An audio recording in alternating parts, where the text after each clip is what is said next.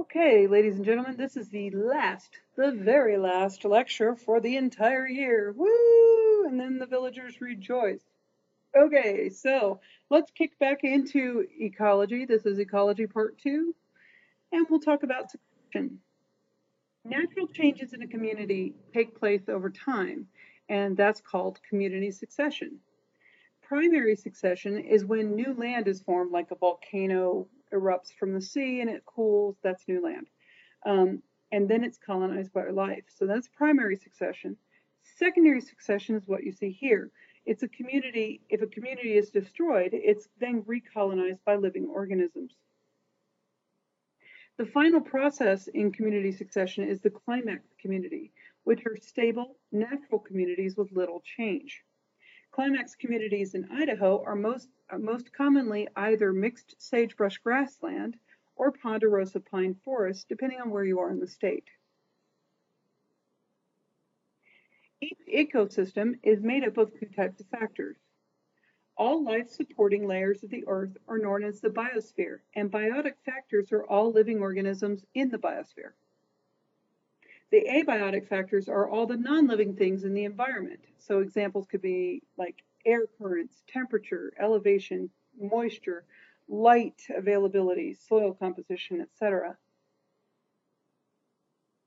So the biosphere is the entire life-supporting unit of the Earth. Anywhere life exists is the biosphere. Each biosphere is broken down into the biosphere is broken down into the major ecosystems, and inside each ecosystem is communities, then populations make up those communities, and then individual organisms make up those populations.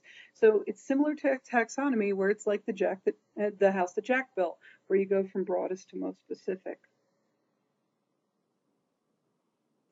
There's different kinds of feeding types um, in ecosystems. Autotrophs are, are also called producers because they make their own food. So those would be the plants, the algae, the cyanobacteria, etc.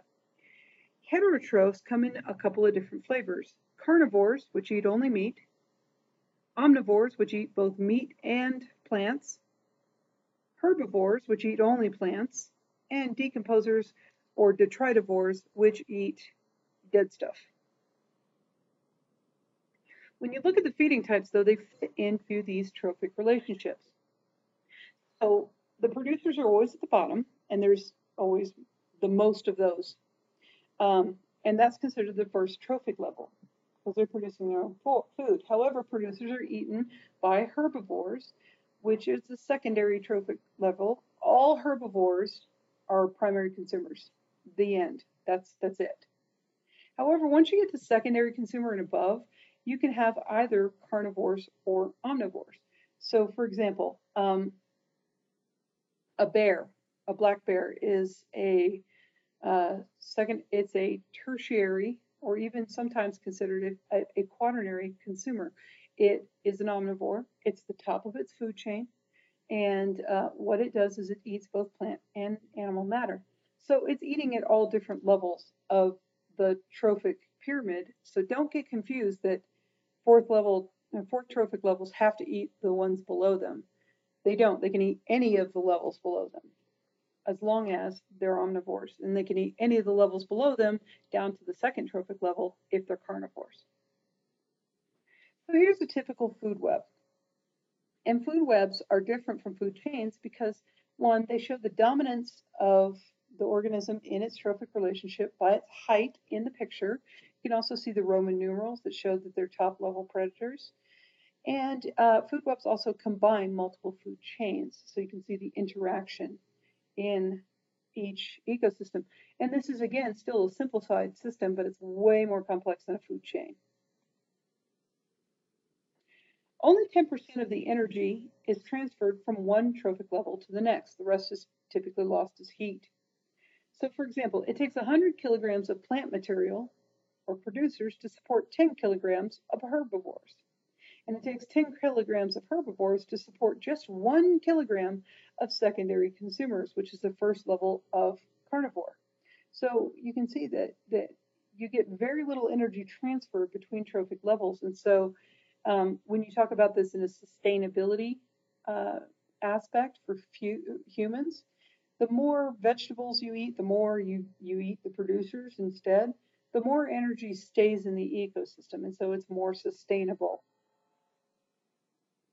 Okay, to remind you about symbiosis, remember these are the three main types, commensalism, mutualism, parasitism. I just gave you a, a little uh, graphic to help you remember which one benefits and which one doesn't, uh, based on last time's lecture. So I wanted to make sure that you saw that, and I threw it in there because it, it seemed to be a little bit confusing. Okay, so let's look at how we impact the environment. Well, one way is acid rain.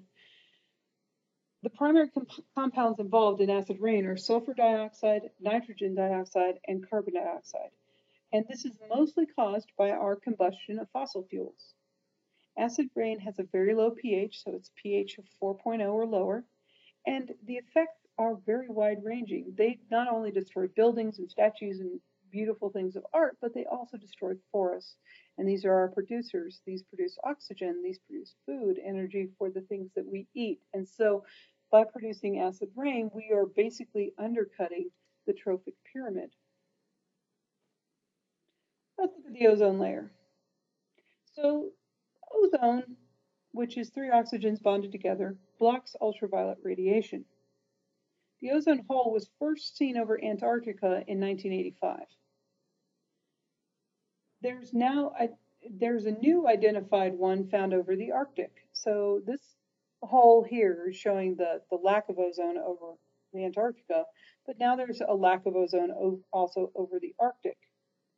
Ozone is destroyed by CFCs, which are chlorofluorocarbons, and they're found in coolant systems and propellants. And CFCs were stopped being produced in the United States in 1996. However, we're still seeing the effects of ozone destruction. So ozone loss results in higher rates of skin cancer, cataract, retinal cancers, and the loss of many species. A recent study of more than 6,000 species of amphibians worldwide concluded that 32% were threatened and 43% were declining in population. Chlorofluorocarbons, or CFCs, are a family of compounds that are developed back in the 1930s as a safe, non-toxic, non-flammable alternative to dangerous substances like ammonia for purposes of refrigeration and spray can propellants.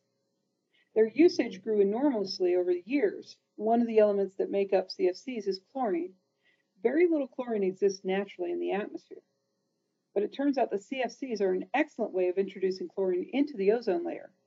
The ultraviolet radiation at this altitude breaks down the CFCs, freeing the chlorine, and under proper conditions, this chlorine has the potential to destroy large amounts of ozone.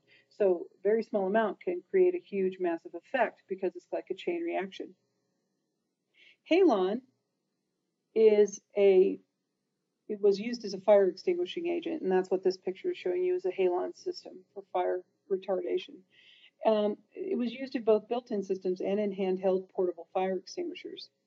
Halon production in the U.S. ended on December 31, 1993, because they contribute to ozone depletion. They cause ozone depletion because they came, contain bromine, and bromine is many more times effective at destroying ozone than chlorine was. So CFCs stopped being produced in 1996, halon in 1994, essentially, and then we moved to carbon tetrachloride. Carbon tetrachloride was widely used as a raw material in many industrial uses, including the production of chlorofluorocarbons, or CFCs, and as solvent. Solvent use um, using carbon tetrachloride was ended when it was discovered that this is a carcinogen. In other words, it causes cancer. So we stopped um, producing carbon tetrachloride or using it in those industrial applications in 1996 hydrochlorofluorocarbons, or HCFCs, are the, enabling the phase out of CFCs. HCFCs are one class of chemicals being used to replace the CFCs, and they do contain chlorine and thus deplete stratospheric ozone, but to a much lesser degree than CFCs or halon or carbon tetrachloride. And we're hoping to phase this out around about 2030. Finally, methyl bromide is an effective pesticide that use, is used to fumigate soil and many agricultural products. Because it contains bromine, it also depletes the stratospheric ozone, and production was phased out in this country in 2005.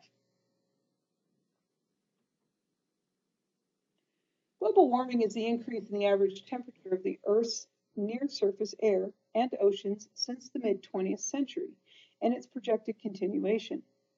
Global surface temperature increased 0.74 plus or minus 0.18 uh, degrees Celsius or between 1.1 and 2 degrees Fahrenheit during the last century. That doesn't sound like a lot, but it really is. The Intergovernmental Panel on Climate Change, or the IPCC, concludes that anthropogenic, in other words, man made um, greenhouse gases, are responsible for the majority of the observed temperature increase since the middle of the 20th century, and that natural phenomena such as solar variation and volcanoes probably had extremely small warming effects on uh, the atmosphere. Because pre, uh, during the pre-industrial times to 1950 and a small cooling effect afterwards.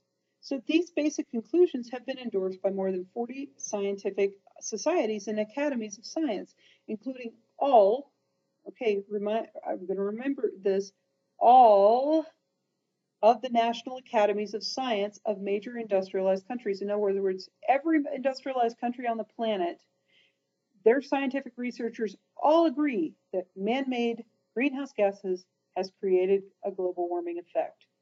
Okay, so I'm saying that because there's a lot of naysayers to global warming and people go, oh, it's snowing in April, so it can't possibly be global warming. Well, that's not true. Average temperature increase creates instability in the atmosphere, and that instability leads to more extreme weather swings. So don't get those two confused. We're not supposed to be parboiling here. We're supposed to, we're seeing more increase in weather. We're also seeing hotter summers and a bigger swing in the winters. Climate model projections summarized in the latest IPCC report indicate that global surface temperature will probably rise a further 1.1 to 6.4 degrees Celsius. That's a lot. That's 2 to 11.5 degrees Fahrenheit during the 21st century. Greenhouse gases include carbon dioxide, methane, and nitrous, nitrous oxide. Finally, let's take a look at pollution. Pollution comes in a lot of different forms, chemical, thermal, air, and sound. Um, there's a couple of other ones like light pollution, etc. Let's talk about the biggies. Chemical pollution is the introduction of chemicals into the environment that are harmful. And some chemicals that are introduced in the um, environment can be introduced in extraordinarily small amounts, small parts per billion or per trillion, and still cause a huge effect. Um, this picture here is, of course, a lot more severe chemical pollution, a lot more easily seen chemical pollution, and that's from an oil spill. Thermal pollution happens usually at the outflows of places like um, nuclear power plants and things like that. They eject hot water from the power plants um, and bring in fresh cool water. Well, that thermal pollution creates algae blooms. It creates a whole lot of different changes to the ecosystem.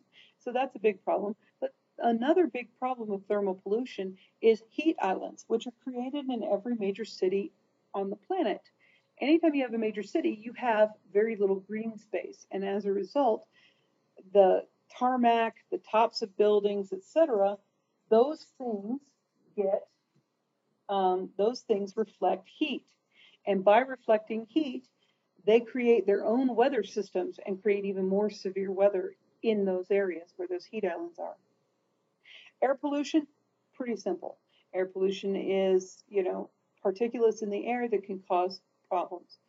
Same with water pollution.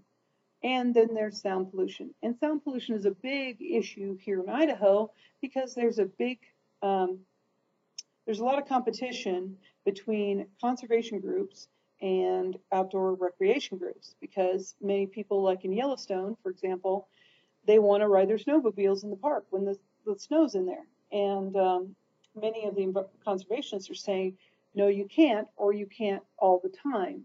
Because the sound disturbs the breeding habits, the migration patterns and stuff of all the wildlife in that area. And so that's kind of a little more hard to prove one. Um, it's just, just a thing. And for light pollution, if you live in a city, you'll notice that there's far fewer stars that you can see than there are in the country. And for that reason, light pollution is a serious issue, not just for people who look at the stars like astronomers and astrophysicists and such, but it's also a problem because it interferes with movements of animals. It, it, interferes with their migration patterns. It interferes with their ability to catch prey. And so that's actually a fairly serious thing. So let's look at some of the basic things that we can do. Well, the first one is to vote. And vote responsibly. That means you actually research the issues before you vote. Don't just go, hey, I like that guy, or or that guy was was uh, support, you know, that candidate was supported by this radio station I really like, so I'm going to go vote for him or her. Don't do that. Actually, look at the issues that are important to you. If environmental issues are important to you, then you look down the environmental voting records of those candidates, or you look at their platform of those candidates on the issues that are important to you. So vote. Buy from responsible companies. And by responsible companies, I mean the ones that are actually aware of their carbon footprint, for example, the ones that are trying to actually improve or they replant forests or they use renewable energy sources in order to uh, produce their product. Organic.